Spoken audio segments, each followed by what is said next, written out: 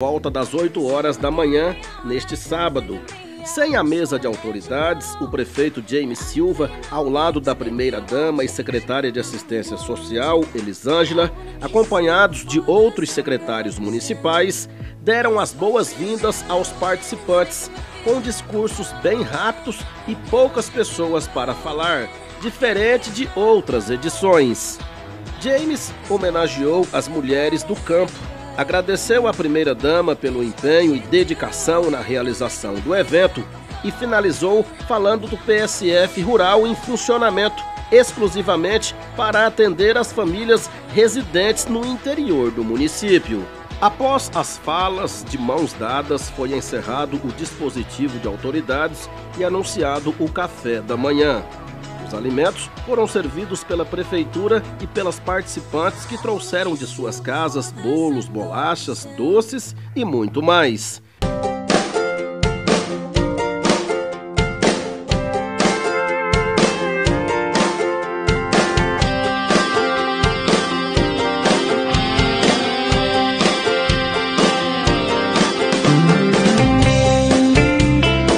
A beleza do campo foi colocada a toda prova e aprovada com o desfile do Miss Rural 2022.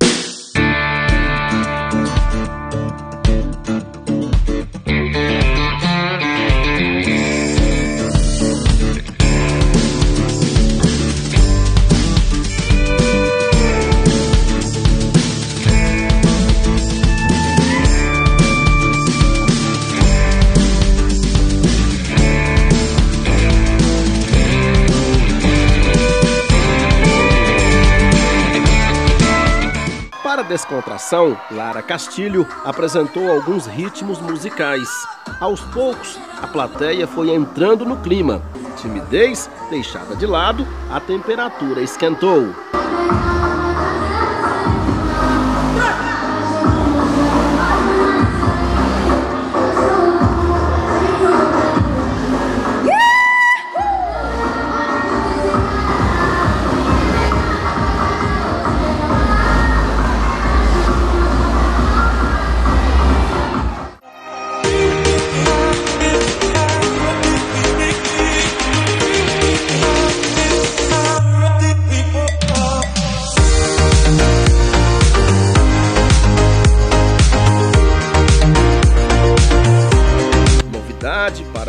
Almoço, churrasco de três bois no rolete, acompanhado de arroz, mandioca, saladas, farofa, molho para churrasco, refrigerantes e sobremesa.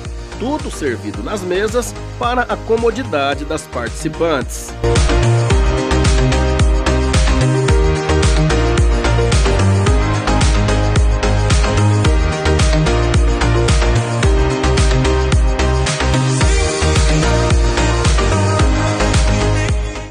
Depois do delicioso almoço, era hora de serem presenteadas. Foram muitos prêmios, dezenas e dezenas, com o apoio do comércio local e parceiros.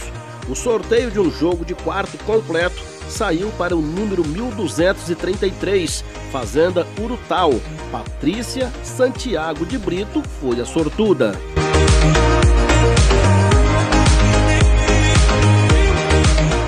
A tarde foi de homenagens no vigésimo encontro da Mulher Rural de São José dos Quatro Marcos. A primeira-dama Elisângela, o prefeito James Silva e equipe entregaram uma lembrança para cada uma das líderes rurais.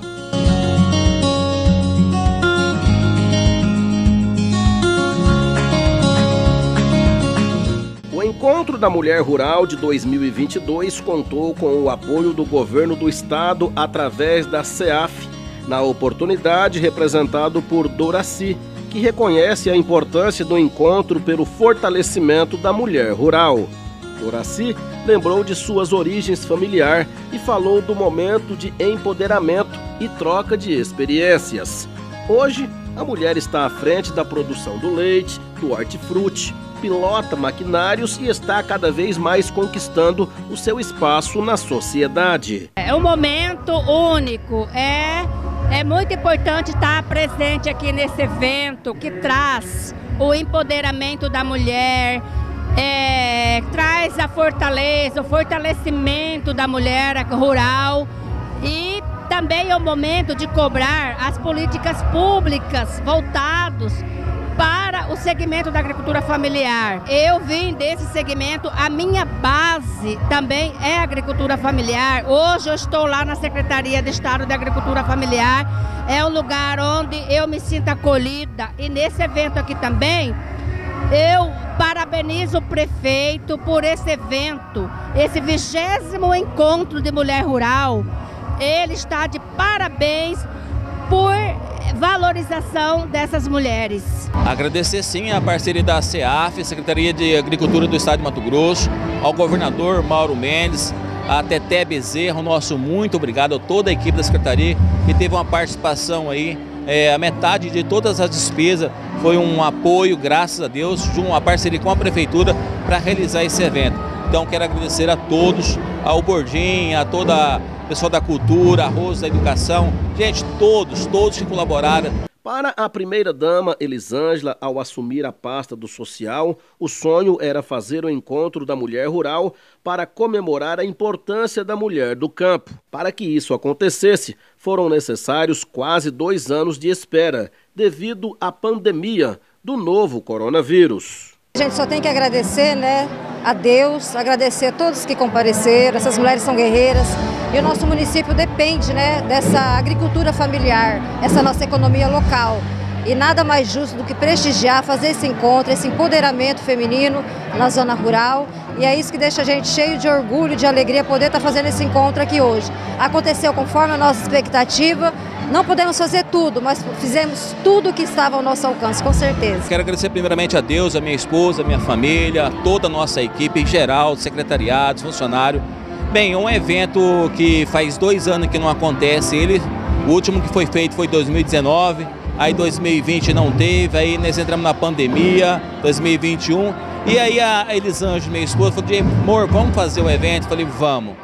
Graças a Deus não temos a pandemia, Deus diminuiu muito, né, não tem nenhum caso em Quatro Marcos, e é onde a gente pôde é, presentear a zona rural com esse evento maravilhoso que é a Mulher Rural. Parabéns a todos. É um evento, graças a Deus, organizado, a decoração toda feita e organizada pela minha esposa. Na verdade, foi contratada a decoração, mas as ideias de tudo foi ela que, que correu atrás e pesquisou e graças a Deus aconteceu. Um delicioso, um delicioso almoço com boi no roleto né, para o pessoal. Parabéns a todos, parabéns ao social, parabéns toda a equipe da, da Prefeitura Municipal.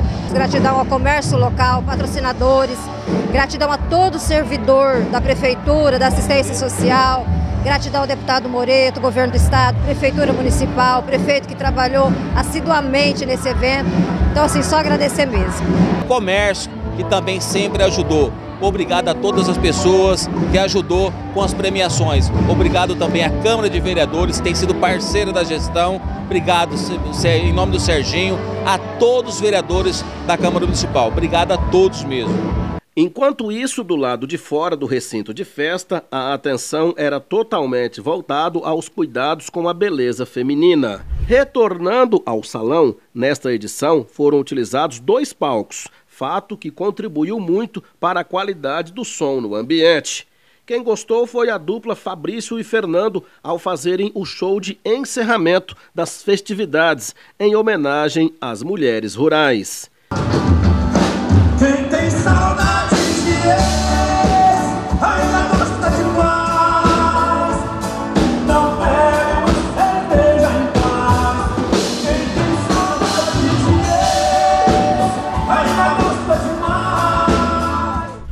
46 comunidades participantes, sendo dois distritos e 12 assentamentos, totalizando 1.247 mulheres, uma das maiores participações já registradas.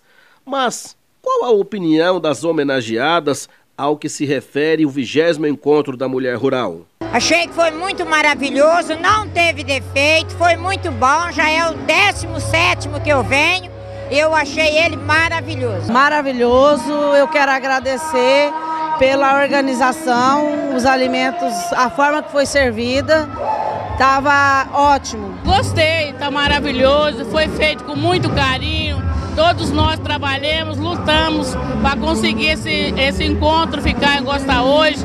Nós, como os líderes, trabalhamos bastante, corremos atrás das colegas para nós reunir, para trazer para o encontro tudo está perfeito. Está de parabéns o prefeito e a primeira dama e as equipes que ajudou. Foi de coração, estão de parabéns. Estou muito contente. Tudo muito lindo, né? Ah, começando na decoração, a organização em tudo, em todo o evento, a preparação que a gente vem se preparando o ano todo, né? Para que aconteça nossa primeira dama faz reuniões mensais com a gente, nos preparando, passando toda a informação. E aí a gente vai preparando, cada uma prepara, né, a sua equipe, porque somos uma equipe, começando pela primeira dama, pelo prefeito, né, que ele nos ajuda em tudo, ele apoia e a nossa primeira dama conduz muito bem o trabalho. Maravilhoso, tudo bem organizado, tudo maravilhoso mesmo, só tem que agradecer. Maravilhoso mesmo, ó, 15 anos que eu participo, que eu sou líder, tá de parabéns, prefeita, primeira dama, organização, tá de parabéns. Há 15 anos, o melhor que eu participei eu foi esse. Gratidão a ele, meus parabéns a todos eles, que Deus abençoe, que eles continuem firmes no propósito deles que faça que o ano que vem seja melhor ainda, né? Gésimo Encontro da Mulher Rural, realização Prefeitura Municipal de São José dos Quatro Marcos, apoio CEAF, Governo de Mato Grosso e organização Secretaria Municipal de Assistência Social, apoio Cefaico, Secretaria Municipal de Saúde, Secretaria Municipal de Obras, Departamento Municipal de Cultura e Câmara de Vereadores.